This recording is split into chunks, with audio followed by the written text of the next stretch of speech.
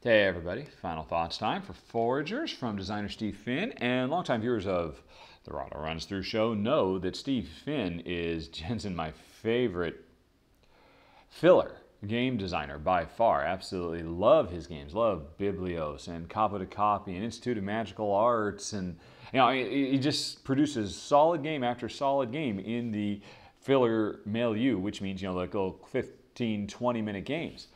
Foragers is his first full game. This is a definitely bigger, uh, you know, in scope and in game length than anything he's ever done for. Although it's still on the short side. This is a half hour to 45 minute game, basically. Maybe maybe an hour at the higher player count. Although of course I've only played as a two player game, and I say it's very, very good. It's very, very enjoyable. And that's really high praise coming from me because neither Jen nor I are really big fans of pick up and deliver. It's probably our least favorite genre, except for maybe like dueling wizards. We, we're generally not too fond of that either.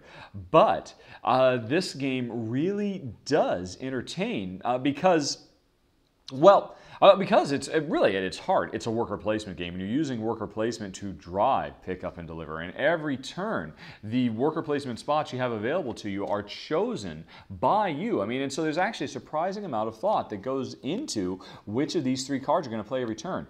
And it gets even more and more interesting as the game goes on, and there are fewer and fewer resources on the board to gather. So you really have to start making some very intricate plans that might take place over several turns to be able to get from one side of the world to the other to get those last few apples you need to make that last delivery over to the southern village so you can get your perfect, um, you know, seven point all villages delivered to bonus. And you know, everything works really nicely. It's very smooth, fast, clean playing. The dummy players work very well in a two-player game, and there's just a lot of really interesting decisions. And for players who want it, this can be actually a fairly aggressive game because you know if you purposely make your strength high, you can score a lot of points just traveling around the world and beating up all the other players and taking their victory points. Although you can't you know directly harm them, you can't really take any of the goods they've done or any of the deliveries. You can't undo that. But there are still a fair number of points to be had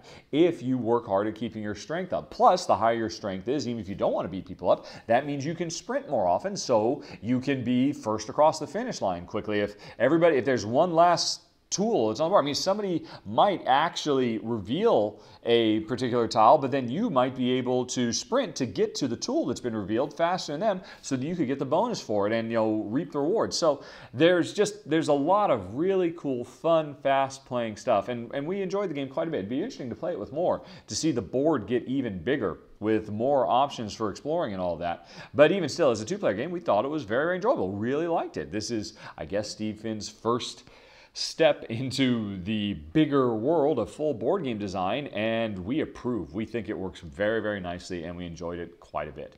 And that's it, folks. That is Forge. If you have any questions, comments, concerns, as always, let me know. Like I said, it's on Kickstarter. You can hit the little eye up in the top corner of the screen to go see more. Uh, you know, again, everything you're seeing with prototypes, these are not the pieces that are going to come with it. I don't know if it comes with cubes or if it comes with chits. You can go to the Kickstarter page to learn more about the particulars.